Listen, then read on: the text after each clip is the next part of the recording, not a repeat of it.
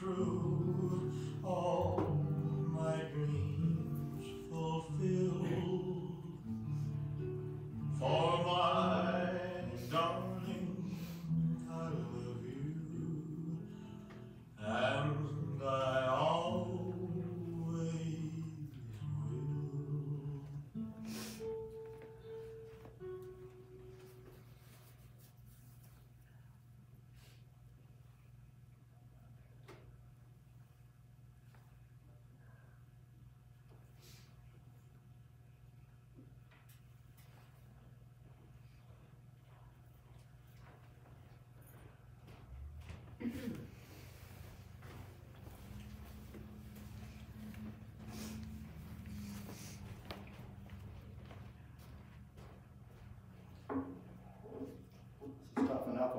To follow Elvis Presley.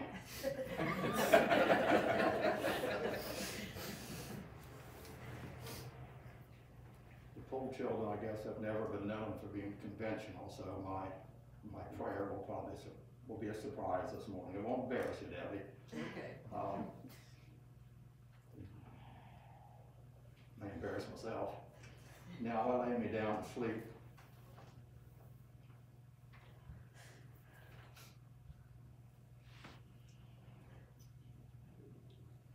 Pray the Lord my soul to keep. If I should live another day, pray the Lord to guide my way. If I should die before I wake, I pray the Lord my soul to take. Uh, I've been thinking about this and I'm thinking that Jim had twenty thousand days to, to share with us. Twenty thousand days that, uh, he walked with us, he brought him into our life, uh, a family. We'd sure been more happy if have had thirty-seven thousand days than twenty-seven, but we got, we got the best time him. Uh, talking to Karen this morning, she says, someone needs to pray Jim Soul into heaven. And certainly that's, well, I think the last part of, you know, I lay me down to sleep does. We, we trust and pray that, uh, that's where Jim's soul is now. And I can picture that, um, picture you get your angel's wings, these white fluffy things that hang off your back. Well, I think Jim's got a custom, custom set. I think they're gold and they kind of remind you of that screaming chicken on the hood of a Trans Am. so, uh, I guess if they motor on Jim and we'll be, we'll be up to meet you one day.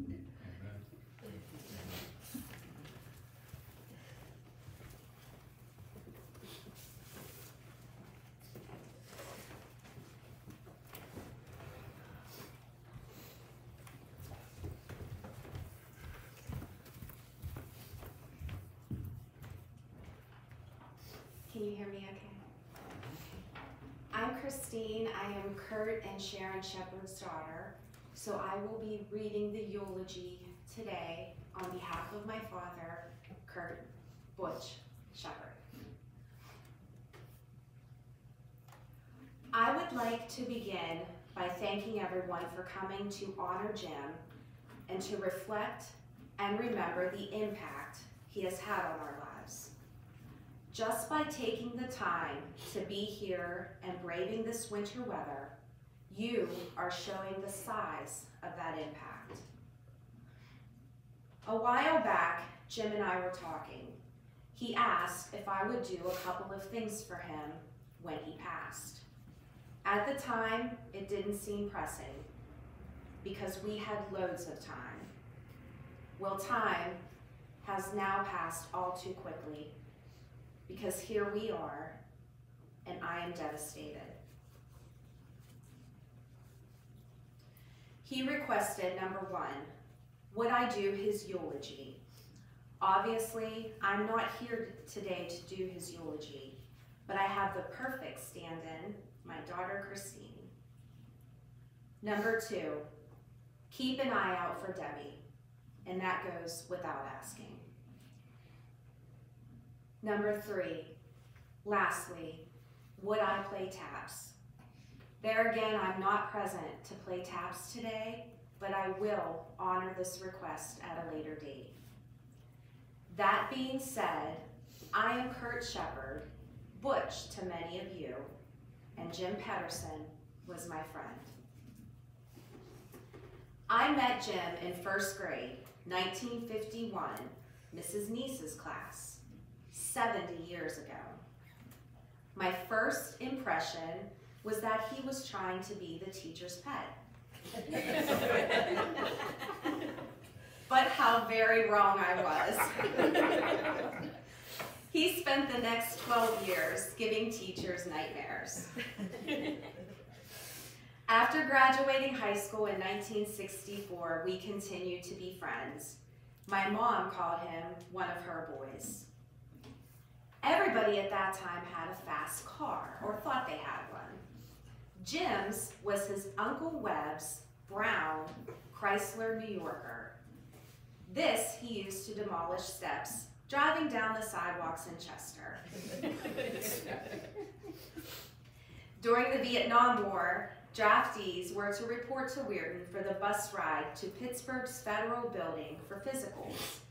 Everyone was trying to find rides to the bus station to catch the bus to Pittsburgh. But not Jim. He managed to get the sheriff's office to make him a priority and give him a ride. Word has it the choice was to join the service or go to jail. Ironically, though, once in the Army at Fort Hood in Texas, Jim became a military policeman. Out of the service and back home, he met and married Debbie Poole on August 16, 1968. I was his best man and charged with the task of making sure he was at the church on time. Marrying Deb, I can tell you without a doubt, was the best thing that ever happened to Jim, and something that he would definitely agree with. Jim and Debbie moved to Columbus, Ohio, where he worked at Worthington Steel. We stayed in touch, and when I went through a rough period in my life, I went and stayed with Jim, Deb, Lori, Glenn Rose, and Gumjob. I remember attending Lori's dance recitals and the spring national drag races every year. Through the years, we have always been there for each other. In 1984, Jim co-founded the Trans Am Nationals, where he was a past president. He also was a member of the Trans Am Club of America, Dayton, Ohio, where Jim and Debbie became fast friends with Bill and Becky Bays.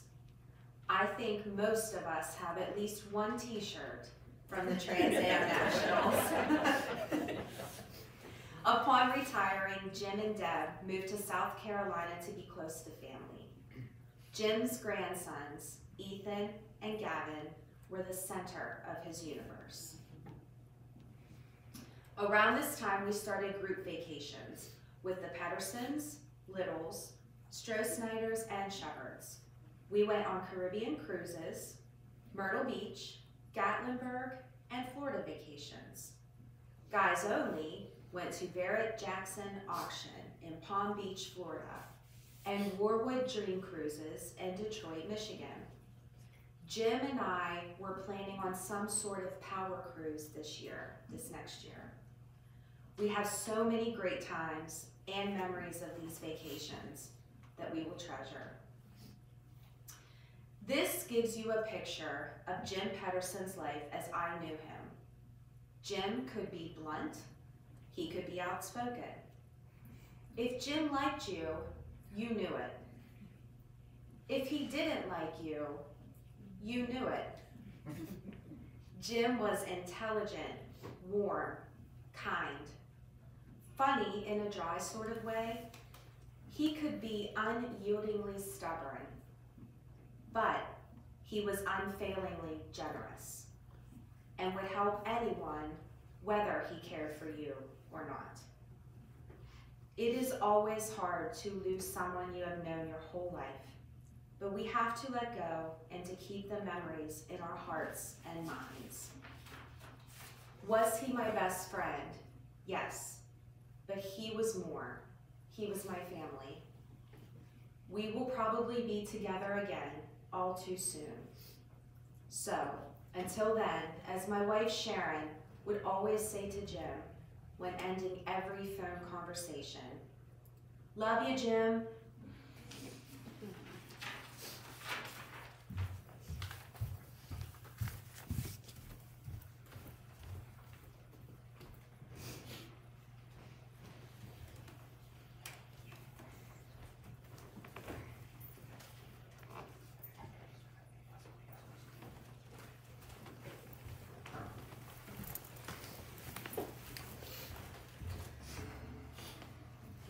Hello, uh, my name's Scott Little. I am uh, the son of uh, Ron and Debbie Little, uh, very close friends for a long, long time. Um, I was asked to read a poem that my mom and dad had wrote uh, for Jim and Debbie for their, I believe, 30th anniversary. 30 years of marriage, 30 years of bliss. With these two wonderful, wonderful people, how what a union miss. The road was sometimes rocky, I'm sure you would agree, and yes, they proved a few wrong, as all of you can see. Our friendship has grown stronger, though we're miles and miles apart. Two friends are always there with deep feelings in their heart. You'll always remember our Steve, which is my brother, and what was in his head when he asked what you might be doing while sleeping in his bed. we stopped. We shopped till we dropped on a cruise in 98, the jewelry, the bingo, and Jim's International cheese plate. Our vacation went fast and we left with a tear. And at the end of the week, they had drank all, they had run out of beer. thank, thank God they both passed customs. For jail they now would be post office pictures for all the world to see. We love you both and wish you in every way, our dear friends Jim and Debbie, on your very special day.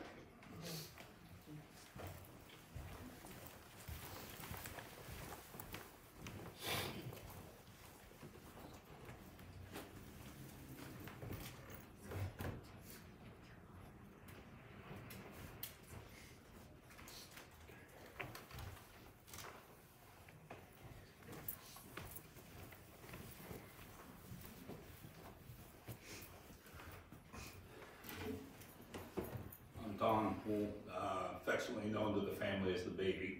Um, and I've known Jim since about that time. Um, born in 65 and he married Debbie in 68. Uh,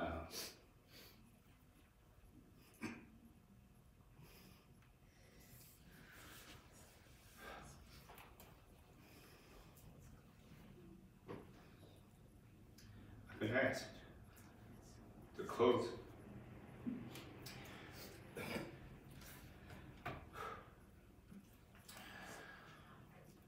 to close this portion of the service.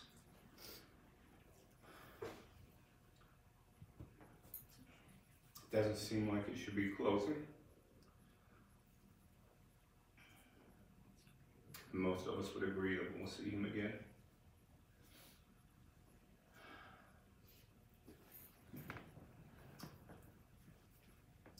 I think the best we can do in life is leave a legacy to our kids.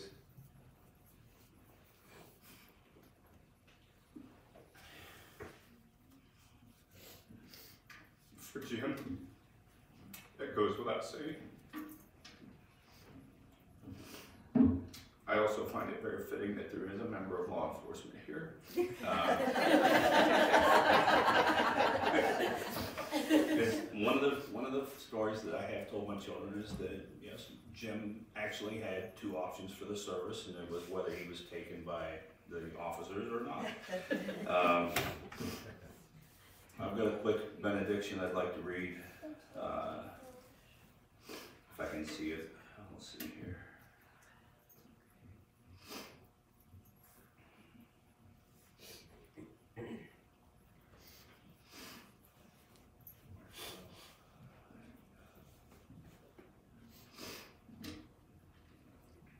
Lord, I grant, I ask that you grant us the faith and courage for the Pedersons to move on and for the rest of us to grieve.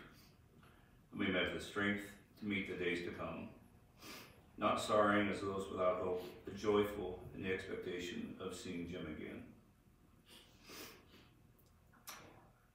Now, as we depart here and carry on, may the Lord bless you and keep you. May the Lord. May the Lord make his face shine on you and be gracious to you. May he lift up your countenance, give you peace now and in the future. We ask these things in Jesus' name. Amen.